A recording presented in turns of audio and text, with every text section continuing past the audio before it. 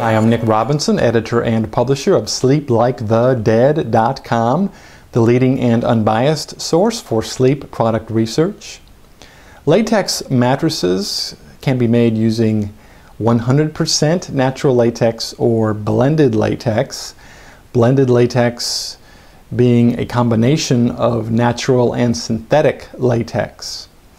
Now the two mattress types have the same basic properties, but they can differ in the details. So based on our latex mattress research involving over 650 actual owners, let's compare and contrast natural latex and blended latex mattresses. And let's begin with owner satisfaction.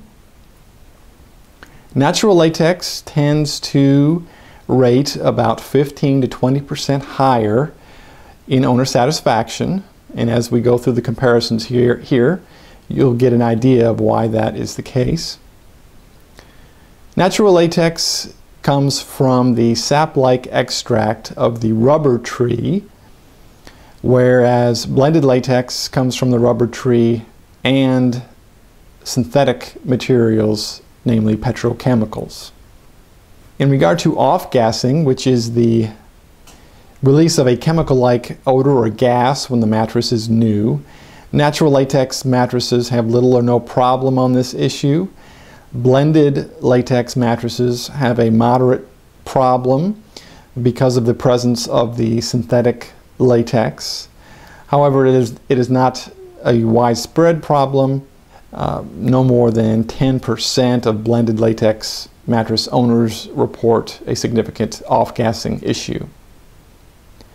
In regard to firmness, natural latex tends to be a little bit softer than blended latex.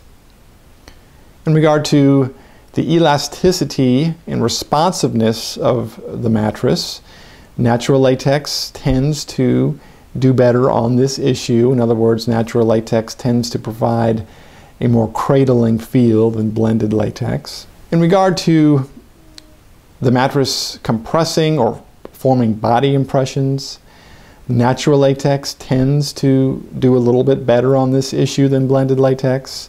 In other words, over the course of its life, a natural latex mattress is more likely to maintain a flat, level sleeping surface. In regard to quality consistency, blended latex tends to perform a little bit better than natural latex. And by quality consistency, I'm referring to the consistency of quality throughout a specific latex mattress and the consistency of quality from one latex mattress to another. Blended latex tends to do a little bit better on this issue because the synthetic latex is easier to work with and it's easier to produce a uh, quality product consistently. In regard to allergic reaction potential, about 3% or less of the population has an allergy to natural latex. So an all-natural latex will have uh, somewhat of a higher likelihood of, of triggering an allergy than a blended latex mattress with its synthetic uh, latex content. In regard to price, natural latex tends to be a little bit more expensive, all things being equal about 20% more expensive than blended latex. So bottom line, an all natural latex mattress may be best for you if you're looking for something all natural as opposed to something with synthetic content, something that may off gas. It may also be best for you if you're looking for something that has a little bit of a softer firmness level. A blended latex mattress may be best for you if you are looking for uh, something that is a little firmer and or if you are on a tight budget.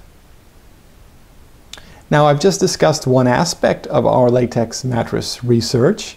You can get the whole story at our website. We get into Talalay versus Dunlop processing methods and we rate and compare the different latex mattress categories and the different latex mattress retailers and brands.